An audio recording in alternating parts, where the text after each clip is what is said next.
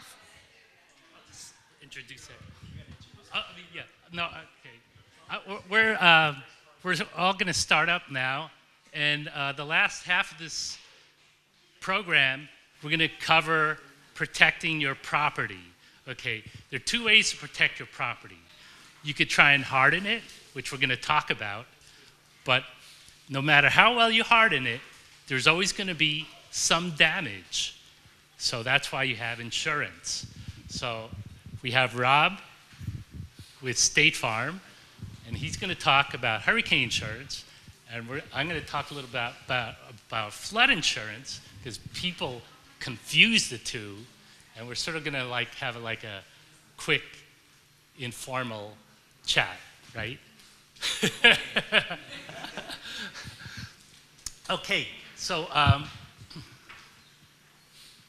okay, so um, a lot of people ask, which policy covers me? So there's hurricane insurance and there's flood insurance. So Rob, you want to talk about hurricane insurance, uh, the part of it, or? I'm Rob Shimabuko. I'm a State Farm agent, and just here to talk um, about the wonderful world of insurance and just kind of high level, kind of go over some things. But um, hurricane insurance is basically wind-related damage, and it's uh, damage that results from wind um, if there's a declared hurricane warning or watch.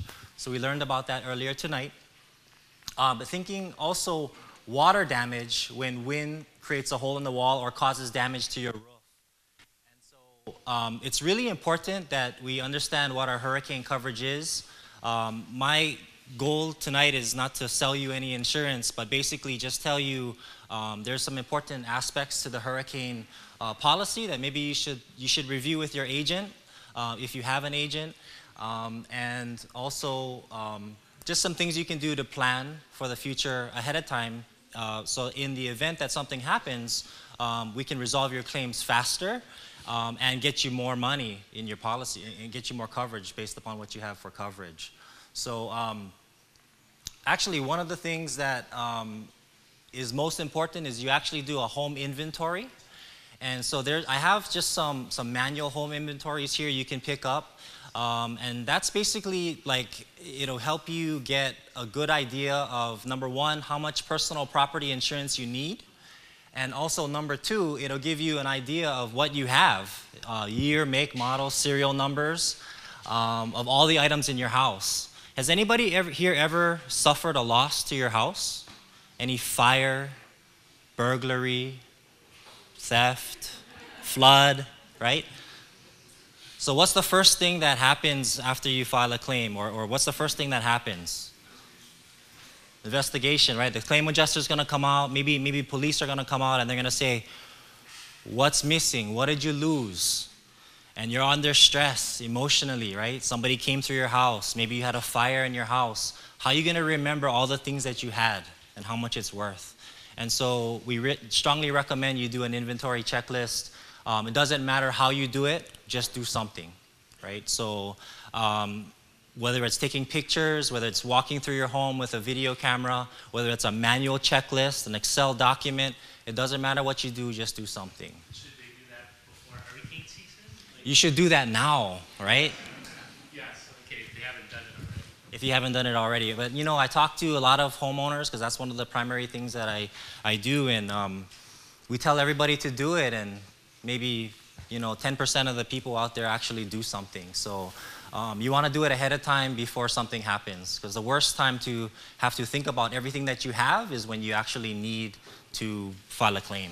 And how about, do they need pictures of the items that they have? So pictures are not required, but it definitely will help. So the more information you have, the better. So receipts, pictures, um, serial numbers, um, anything to do to identify property that you have in terms of value. Just because you have $100,000 in personal property doesn't mean that we're going to write you a check, or any insurance company is not going to just write you a check for $100,000 because you had a loss. They're going to ask you, what did you lose? I need you to itemize it. And if, you, if you're not able to do that, then you know, that'll delay the process for you getting paid out quicker. And um, why don't we, so there's really, uh, we mentioned like hurricane insurance or flood insurance, and there's also like regular homeowners insurance, right? So maybe why don't you just cover the difference between homeowners, like for fire and death versus hurricane insurance? And I'll cover the flood insurance. Why don't you do that? So if you have a hazard hazard insurance policy, you know that's going to cover you for most of most of your your, your theft. It's going to cover you for wind damage, not hurricane. Um, it'll cover you for fire. Um, hurricane coverage is going to kick in when the the when there's a declared hurricane warning or watch, and prior to a storm coming to hit us, um, there's going to be something called a moratorium issued. And during that time when there's a moratorium, there's no new insurance policies that can be written. So if, you, if you're not carrying hurricane insurance and there's a storm coming, what am I gonna do? I'm gonna call up my insurance agent and say, hey, I wanna add hurricane insurance. And they're gonna say, well, it's not available because we're in a moratorium. And, and that's because insurance is to protect from the unknown, not the known. Right. Now, what's the moratorium typically for like a hurricane insurance policy? Because I know for, for the flood, it's 30 days. You want to try and get a, a, a new flood insurance policy under the flood insurance program, you have to wait 30 days. But I think it's That, that's a good question. I think it's, it's company specific. Uh, but generally, it could be 48 hours to 72 hours. It could be longer. It could be a, you know even even more days before the storm actually hits. Um, that there's no new policies um, being issued. Um, that also brings up a good point um, where from the moment there's a declared hurricane warning or watch, that's when, that's when your hazard policy, the wind coverage stops, and that's when your hurricane coverage kicks in. From the downgrade of that storm, for up to 72 hours thereafter, the hurricane coverage is still in effect.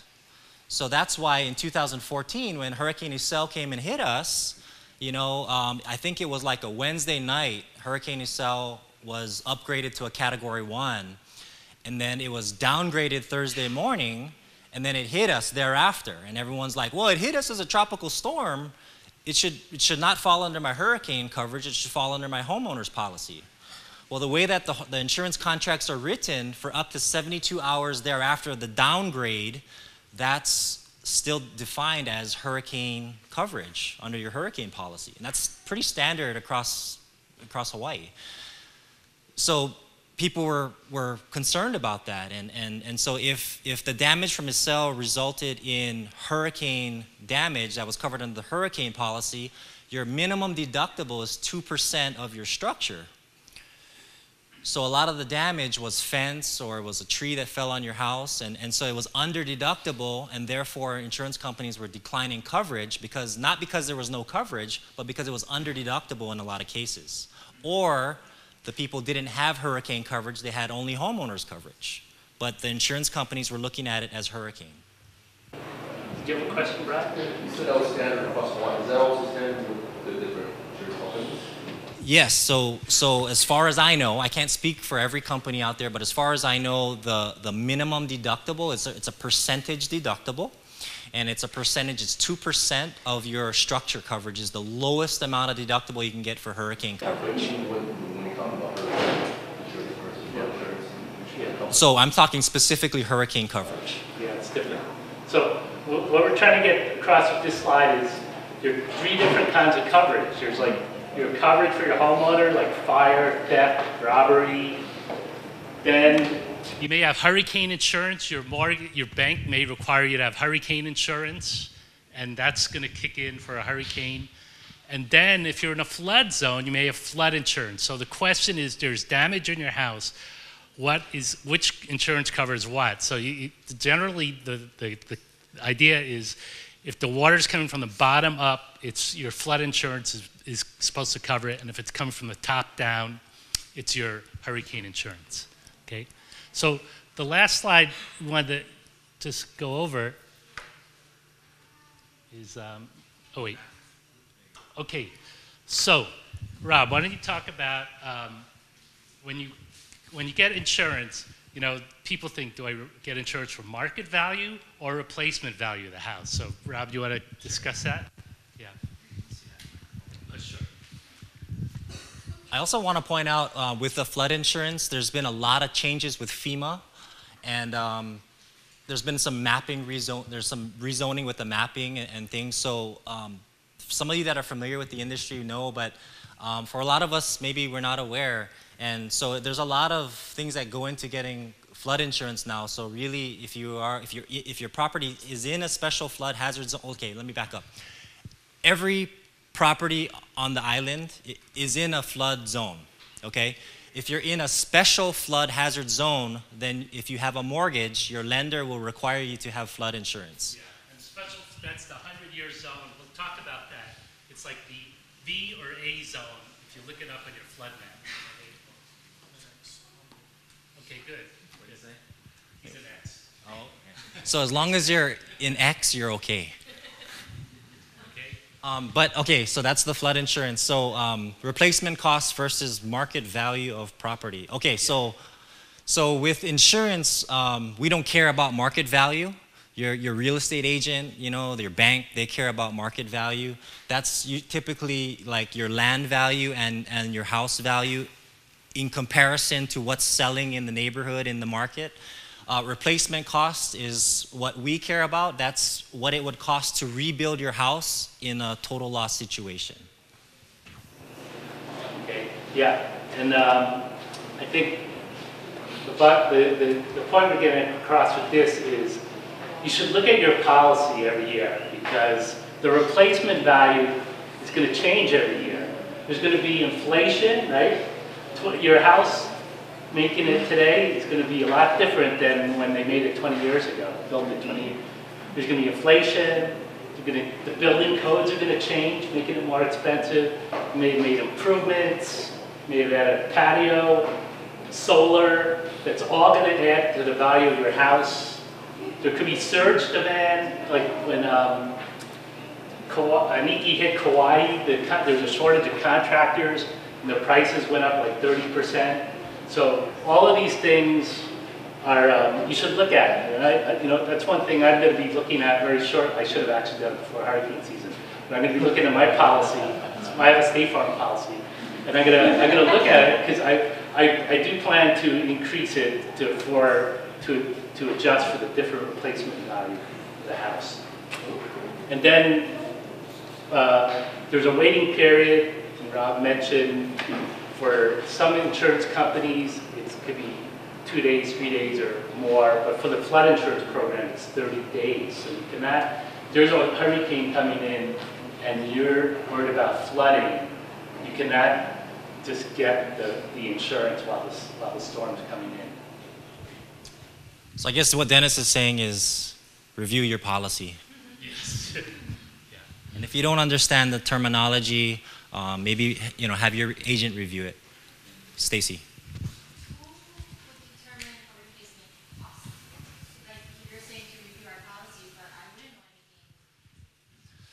Oh, that's a good question. So uh, every insurance company has their own model or their own software or their own um, uh, estimated replacement cost tools that they'll use, and, and it's it's not a public known information, but it could be you know for standard construction, $150 a square foot, you know average construction, $200 a square foot, whatever the case is.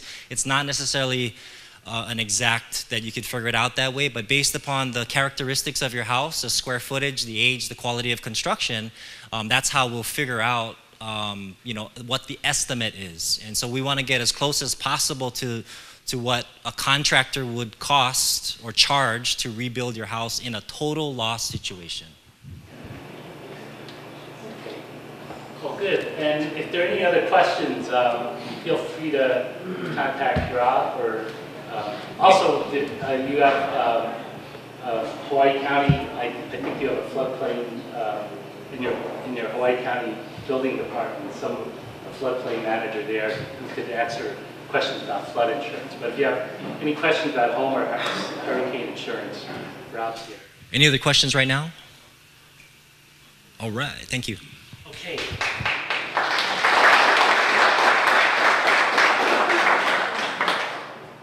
Okay, so we're going to go over um, the last part is what are you going to do with your house, okay? Because, um, and uh, this is the homeowner's handbook. It's in the third edition. Very limited supply. It's gone through nine print runs, 75,000 copies. We, I have like five here, and I'm going to try and reserve them for people who have a single wall house Does anyone have a single wall house? Oh my gosh. Okay, but anyway, um, we'll give we'll. Um, the, there's some copies here, and also you could download it. And I have a, a little bookmark, a pr- printed bookmark, which show you how to where to get the book. Okay, so and it covers these hazards. Okay, I just want to mention one thing. So here's a Iniki hitting Kauai. Okay, so it was going 30 miles an hour forward. The sustained winds were 120 miles per hour. So in the right front quadrant, the sustained winds and the forward motion add together, and it's 150 miles per hour. In the left front quadrant, they subtract, so it's 90 miles per hour. And the difference between a 90 mile per hour wind and a 150 mile per hour wind is huge. It's like, because the, the force on a building is not proportional to the wind speed, but the square of the wind speed. So if, the, if this increase, the wind speed increases 30%, the, the force on the building will double, okay? So what happens here is um, you can see where the eye of Iniki went, and of course all the storm surge is being pushed because the, the winds are rotating clockwise around the eye. All the storm surge is being pushed along the coast on the right front quadrant, which is always the worst. So you got to watch that right front quadrant. Okay, and if you look at the buildings in Kauai, all, almost all the single wall buildings in this part, uh, the larger percentage of them did not survive. Also, because they were older building code, and a lot of the ones that did survive are all on the left front quadrant of the build of, of the hurricane. So it's very important where the hurricane makes landfall. Okay, so uh, that's Iniki. We're going to skip that. And this is uh, Iselle. We're going to skip that. You've already heard about that. Um, oh, here's, here's almost like a, a, a, really bad scenario for the state of Hawaii. It, when you get a hurricane like this, and two days, this was Ana, and two days before the, um, uh, this is two days out, and it looks like the right front quadrant is to, which is the most damaging part, is to hit the Big Island, Maui, and Oahu. Okay, so um, it's very important for everyone to be prepared, no matter what island you're on. Okay, and you've gone out, you've all, you've all seen these before. Brian showed you these. Now, you see this. This is the um, 2015 hurricane season. When I see this and the state here, I say, wow, this is, this is very dangerous, and we're really lucky that nothing worse could have happened. Okay? And then that was in 2015. And then in 2016, Brian showed this also the same thing is happening. There's these two systems, and it's, it's really um, amazing that nothing worse happened with these two systems so close to the islands. See, that, that's 2015, 2016. And for both of those instances, uh, I did what I call a partial deployment in our, in our house. So I'm going to show you what, that, what, we, what I mean by that, okay? Okay, we, we've gone over this. The only thing I want to mention about the evacuation plan is it's not just enough to have, you know, say make a plan. You need a plan for tsunami and you need a plan for a hurricane. For the tsunami, you're only going to evacuate for the water. For the hurricane, you need to evacuate for the water or the wind. Okay? we went over insurance, and most part of this talk is going to go over your house what we could do for the house. Okay, we've gone over this. Arlena mentioned 14 day supply of water and food. Um, so, family of four, they need 56 gallons of water. If you buy a case of water at Costco, that's going to be five gallons. You're going to need 10 cases of that. You may, and that seems like, but there are a lot of things you could do. You could use garbage cans, bathtubs, and I personally have what's called a water bob that you get at Amazon, and you fill it up, uh, you put it in your bathtub as a liner, and it holds 100 gallons. Okay? One of the things I do for my stuff is I mark the expiration dates are so small, you tend to, you always miss it, and then it expires. So I always get things with a long shelf life.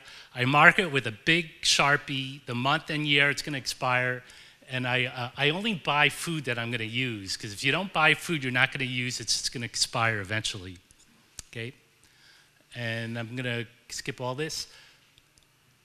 Evacuation plan. Okay, so for an evacuation, okay, you need to look at your Hawaii County Civil Defense evacuation maps. And when there's a, uh, a you, you should already know where you're going to go, but when there's a warning, you're supposed to get out of that evacuation zone. That's for a tsunami. For a hurricane, you're supposed to look at your FEMA flood maps. If you're in an A or V zone or in a da- dam failure inundation zone, you need to evacuate, okay? To look at that, you just go to the, you just Google DLNR flood hazard assessment, and it'll get you to this one tool. You put your address in, it'll give you your flood zone, V or A, and if you're in a dam failure inundation zone, okay? So if you're in that scenario, you're supposed to evacuate, okay? Even if you're outside of that area, you may need to evacuate for uh, if you have a weak structure, okay? So we're going to cover what's a weak structure. The general rule of thumb, and I know uh, you mentioned 86. Okay. No, okay. I think it's 894 though. We'll, we'll check on that. Okay, okay. Um, but anyway, the, the, the concept is um, um, this 94 is when they uh, required a continuous load path for houses on Hawaii County. So we'll cover what that is. Okay, so here's the damage that occurred from um, from Iniki on Kauai. Six or seven thousand houses damaged or destroyed, and FEMA did a building performance assessment to determine what buildings performed well and why. Okay, so one is they had what's called a continuous load path. So we're going to discuss, and it's in the book, what a continuous load transfer path is. Okay, and then the second thing, which caused, which contributed to failure or success, um, was if there was um, uh, if there was breakage of windows, sliding glass doors, and hinged doors. Okay, essentially a breach of the building envelope because your house is supposed to not let anything in. Okay, you want to make it like a fortress. Okay, so here's what a continuous load transfer path is. It's almost like you're throwing a chain over the roof of your house. You're tying it down on each side, but instead of it external, it's all internal through the building codes. Okay, and so the um, the weakest part is right here, this roof to wall connection, and that's why they have the hurricane clip. Okay, and then uh, so this clip ties the roof to the wall. Then there's a strap that ties the, the second floor to the first floor, and then there's some other connectors from the from the wall to the foundation. So it's almost like there's a chain over the roof of your house holding it down, but it's all internal. You can't see it. It's all in the building codes, okay? But even though you, your house may have not been built with that building code, and it doesn't have that, you could still retrofit it to, to add it. And that's what we cover in the book. So here's an example of a, a structure that's retrofitted to create a continuous load transfer path. There's hurricane clips that are added externally Usually they're internal when they build it, but it's external. And then they tie this beam to this column and the column to the foundation. Okay? So there's different vintages of houses on each island. So uh, generally the weakest are the ones with no hurricane clips, no continuous load path, no window coverings. And then I think in 94, okay, and we'll, I'll check on these the dates, okay, because we got to check these dates. But uh, 94, they required hurricane clips. In, um, and in 94, actually, Hawaii County changed their building code to require hurricane, hurricane clips and the continuous load path all at one time in 1994. All the other islands did it in a two-step process, okay? And then um, for under the new building code, they're going to require a continuous load transfer path and either a safe room or window protection. Okay, so the bottom line is it's not this, you know, even if your house is built here, is here, uh, it's not possible to make it as strong as here, but you could still make it stronger. You could add hurricane clips, which is covered in the book. You could add, try and complete the load path. We're going to cover that. And then you could add uh, window protection. We're going to cover that. Right? Okay, so this is why you want hurricane clips, okay? Because a lot of roofs were just coming off. And what actually happened too, it was almost like a two step process where there was a breach of the building envelope, internal pressurization, and then the, the combination of external and internal pressure on the roof blew, blew it off. Okay, so here are these different hurricane clips. This one was common in, in the 1990s. This one is commonly used for retrofits today, and it's easy to use. Um, here's the wall. Here's the um, here's the wall. Here's the, the rafter. You're just tying the the, the rafter to the wall. It's easy to use uh, as long as this part here doesn't stick out. But when it sticks out, it's a more difficult installation. So what they did, here's that part that sticks out. So what they did is they created this other clip called the Hawaii plantation tie, and it ties the roof rafter to the wall. And because this part sticks out, it curves around so you could still make that connection. So between this H3 clip and this one, almost every single wall house in the state could be retrofitted with hurricane clips. And I think I saw around 10 or 15 people single wall houses. They probably don't have hurricane clips unless you retrofitted, right? Okay. So here's an example of a house in central Oahu that's been retrofitted with hurricane clips, okay? Its material cost was around $300, took two Saturdays, okay? But if you hire a contractor, it may cost, you know, $2,000, okay? There's a step-by-step guide how to add this, okay? And again, this is what you're trying to prevent. okay? Okay, uh, again, this is the concept. You're tying the top plate of the wall to the rafter, and these are all these different types of hurricane clips, okay? And something new that's coming online and we're investigating is what's called the structural screw, okay? So we purposely missed the rafter here just to show the, relation, the relationship. But here's a hurricane clip. It's tying the rafter to the top plate of the wall, okay? And you could see that it, instead, if we put this structural screw and put it over here, it would do the same thing, okay? So we're investigating uh, this structural screw as a way to easily retrofit double wall houses where that don't have hurricane clips or the hurricane clips are not properly installed or they're uh, properly installed, but you could sort of like fortify it make it even stronger. Any questions on that? Okay, Post and pier, who has this? The tofu blocks.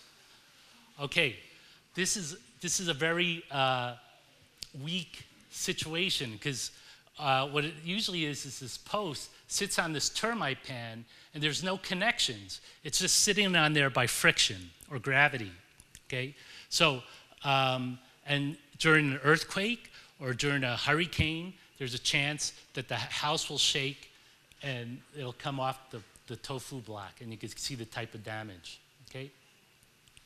So there was a, a, a report um, on uh, post and pier retrofit by uh, Gary Chock and Ian Robertson, uh, uh, two structural engineers, and they put up some designs to uh, retrofit post and pier. And then there's this uh, professor in Hilo, Don Thomas. Is who knows Don? Do you know Don? Yeah. Okay. Good. Okay. So he he's your boss. okay. Okay. Well, anyway, um, he put this program together to, uh, to actually, you just sit, fill in some simple parameters and it'll spit, spit out some diagrams. How do you retrofit a post and pier? So, like, you put what island you're on, and like Hawaii County is the most difficult because you're dealing not only with hurricane, but it's the strongest earthquake, um, uh, has the highest earthquake risk of all the islands. Uh, and you, know whether you're close or near the shoreline, um, one story, two stories, and uh, bottom line is put in all those parameters, and it'll spit out these retrofit diagrams and how to retrofit your post and pier and strengthen it. But what I'm getting at is um, uh, in the fourth edition of the book, Homeowner's Handbook, which we're updating, um, there are all these new products that are going to make those post and pier retrofits easier. Okay, so there's uh, these shorter hold downs that are tied the post to the concrete foundation, and then there's these knee brace stabilizers, and um, these different different types of anchor screws. And I'm not going to go over the step-by-step installation, but the bottom line is um, you're taking a s- okay this just shows different posts that have been retrofitted okay? And what it, what it is you're taking a weak system like this and you're retrofitting it like this. And it's we're, we're not going to um, we're trying, we're going to try and make it as simple as possible for a homeowner to do. But that's in terms of the three major retrofits for your home hurricane clips, window protection, post and pier. Probably the easiest is the hurricane clips. Second, window protection. This is probably the most, little more difficult, but we're trying to make it as easy as possible. Yes, sir. No, it just, the pier just sits on that termite pad. Yes. No, the, the, but the cement block itself is not anchored to the ground. No, that's right. In the r- structural, re- um, structural retrofit report, there's some even more complex things where you take this concrete foundation out and you replace it with another foundation. Okay? So, but for most applications, I mean, this is better than doing nothing yet. Okay? So, anyway, this, this is just shows you what's possible. Okay, so this is a single wall house, originally no hurricane clips, no uh, post and pier retrofit. And then now, essentially, with these retrofits, we added the hurricane clips and the retrofit, and we essentially created a continuous load path for a single wall house. Okay? Okay, now the other thing you need to take care of is uh, windborne debris and window protection. So there are a lot of myths out there. One, don't, um, masking tape will not work. Two, do not open your windows to try and equalize the pressure, okay? Um, and here's why, okay? So here, here you have a house and the press, wind pressure is just on the outside of the wall and it's uh, exerting pressure on the wall and the roof. But here you have an opening. It could be a, a breach in the window or an opening by design. And when this happens, there's internal pressurization, almost uplift, double the uplift pressure on your roof, more likely to come off. So a lot of times on Kauai, when the roofs were coming off, the first thing that happened, there was a breach of the envelope, and then the roof came off. Okay? Okay, so that's why you want to try and protect your windows. Okay, so in the book, there are 12 different options we cover. Plywood is the probably the most readily available and cheapest, but it's the heaviest and most difficult to install. But it gets still, it's still possible, and we cover how to do that. Um, the easy, when you do fasteners for plywood, it, they need to go in the structural framing of the window. Okay, and what I usually do for plywood or for any panel system, I have there are these storm panel screws. What I do is I put one on the top left, one in the top right corner, cover it with this white plastic cap, and when there's an incoming event, just pull the cap off. The panel's already prepared. Just put the panel on, fasten it with wing nuts, two wing nuts, and one screw, and it's already installed. I could do it in five minutes, okay? But it's all got to be prepared beforehand. You cannot be cutting plywood uh, when there's a watch or a warning, okay? So I'm going to skip this, and this is what we call the partial deployment. When there was all these systems, Ana coming through, 2015, uh, there was those 15 systems, 2016 with Lester Madeline. Uh, we did a partial deployment. Only like one third or one fifth of the fasteners were in place, but it held everything in place. And if the system strengthened, I could add more fasteners. If it weakened, I just take it out. Okay, okay so there are other systems in place. So, so the book covers roll down shutters. This is what the National Weather Service in Honolulu uses. This is very good for single wall houses. What we probably recommend for single wall houses that have a louver system. Okay, this is hurricane panels. They're clear plastic, and they're corrugated for strength.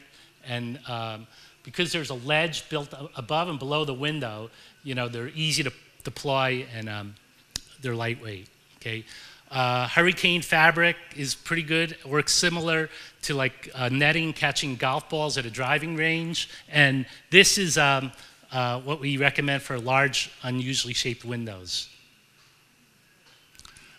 Oh, another thing. There's another thing called storm stoppers. Flies like plywood. It's much lighter and it attaches with these industrial strength fasteners. Okay, the fasteners go on the framing of the window, and it looks it looks kind of ugly, but it doesn't because what you do is there's a white trim that goes on top of that. So when there's an event, uh, most of the times the white trim is on there. When there's an event, you just pull the trim off and put the panel on. Okay, so if you have if you like information on that, I could get you that. So bottom line, there's 12 different ways to cover your windows. The most expensive is plywood. Say for 15 windows for a house, it may cost like $600, and roll downs up like $9,000, and everything in between is like things like here are two or three thousand dollars. Okay, and the trade-off is time to deploy. Okay, trees we covered that. You got to take care of your trees. I know you're already addressing that, so I'm not going to go over it. Clear your yards, clear your gutters. Okay, there's always junk in your gutter. I, we, and we just cleared our gutter two weeks ago, but this is what it looked like. Okay. Okay. Uh, uh, this is a gable wall house. Okay, and uh, those are where the, there's a um, two sloping sides meet in a middle ridge, and a lot of times if there's strong wind, the, the, different roof components could topple over. So it's possible to fortify it with uh, cross bracing, two by four cross bracing. Okay, and then the last thing I just want to cover, actually two th- things. Roofing. Remember, wind pressure on a roof is not equal everywhere. It's always greatest at the corners and ridges. Okay, so here's Kapoho after Iselle. You can see all the damage is initiated at the corner and, and the edges. Okay, so when you re-roof, when you put in your solar, when you do anything with your roof, plan for this. Like if you're to put in solar, try and put it in that white area. And if you're to re-roof, fortify these areas um, that are near the corners and edges. Okay, so I'm not to go over this for lack of time. Okay, solar, if you're going to put solar in, you got to make sure the lag bolts hit the structural framing of your, your roof. Okay, uh, a lot of times the, the lag bolts will miss it, and you got to climb. Sometimes you got to climb the roof and say, "Oh, you missed this," and they'll, they'll co- co- go by and replace it. Okay. Last thing, shelter in place. Okay, okay.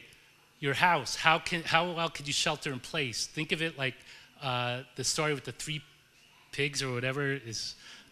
Um, you know, a house made of straw, wood, and stone. Same thing. Single wall house, double wall house, stone house. Okay. Um, generally, we put. We're just about to release this diagram. So. Um, if you're a single wall house, for instance, okay, and it's in poor condition, it's generally not a good idea to, to shelter in there. But it's, it'll be stronger if it's in good condition. Always, you know, keep your house in good condition. It'll make it stronger. Make sure it doesn't have termite damage. Make sure it doesn't have wood rot.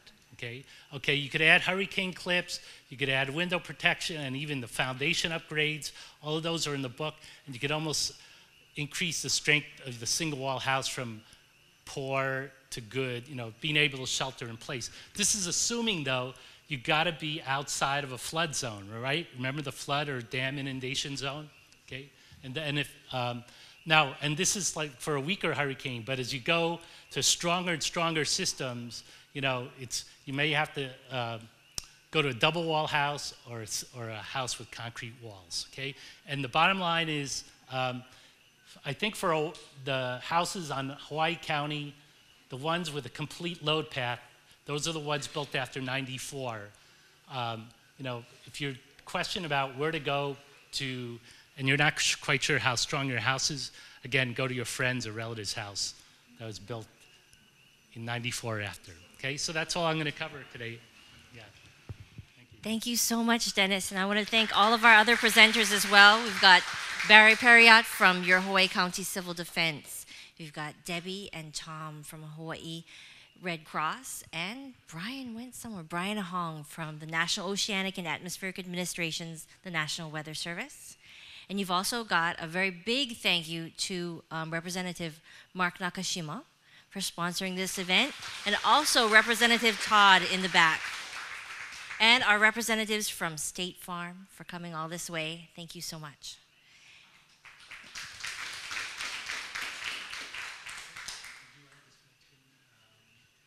Sea Grant? Do I get to talk about Sea Grant? Yay!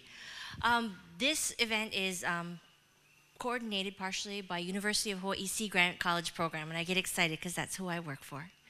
Uh, we're a member of 32 Sea, sea Grant College programs across the nation, and what we get to do in our communities that we live in and we work in, we get to address coastal issues. So, natural resources, natural hazards, preparedness, all the way down to aquaponics, aquaculture, and food security.